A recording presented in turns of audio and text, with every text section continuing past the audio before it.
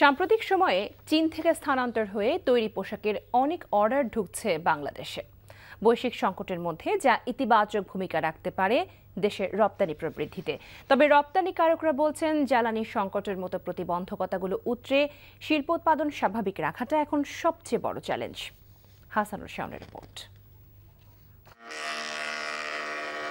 গত অর্থবছরে দেশের রেকর্ড বান্ন বিলিয়ন ডলারের রপ্তানি আয় এসেছিল।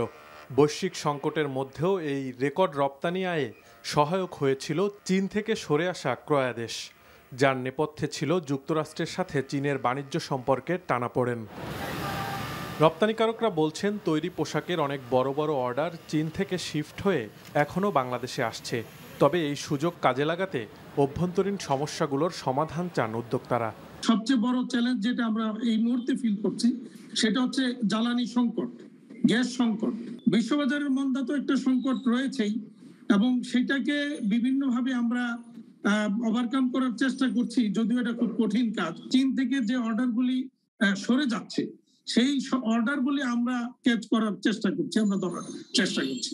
যখন আপনার কিছু অর্ডার আপনার চীন থেকে রিলোকেট করা হয়, তার প্রতিবেশী, প্রতিটি দেশই আপনার উপকার পেয়েছে, বাংলাদেশও পেয়েছে। তবে কতটুকু সাস্টেইন করে সেটা বলাটা কঠিন। অবশ্যই আমরা লাভবান হয়েছি এবং আমরা আশা করছি যে এই ধারাটা আপনার বজায় থাকবে। সাম্প্রতিক সময়ে বিশ্ব বাজারে মন্দাভাবে চাহিদা কিছুটা কমে আসায় দেশের রপ্তানি আয় কমছে। আগামীতেও এই প্রবণতা অব্যাহত থাকার আশঙ্কা করা হচ্ছে।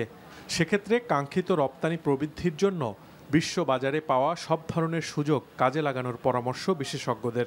যে কারণগুলোতে আমরা উচ্চ প্রবৃদ্ধি গত অর্থ বছরে দেখতে পেয়েছি, অন্য দেশ, বিশেষ করে চীন থেকে অর্ডার শিফট হয়ে আমাদের এখানে আসা ইতিবাচকভাবে আমাদেরকে প্রভাব ফেলেছে। এই অর্থ বছরেও এগুলো থাকবে এবং যেভাবে চীন মার্কিন সম্পর্কের যে টেনশন যাচ্ছে তাতে চীনে যারা বিনিয়োগ করছেন বা অর্ডার দিচ্ছেন, তারাও কিন্তু চাইবেন যে একটা বড় অংশের অর্ডার অন্যান্য বিকল্প দেশে দেওয়ার জন্য।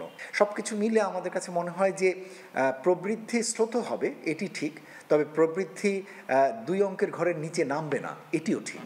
রপ্তানি খাতের কাঁচামাল ও মূলধনী যন্ত্রপাতি আমদানির ক্ষেত্রে বাংলাদেশ ব্যাংককে ডলারের সরবরাহ স্বাভাবিক রাখার পরামর্শ বিশেষজ্ঞদের। Hasanul Shaon, NDV news, Dhaka.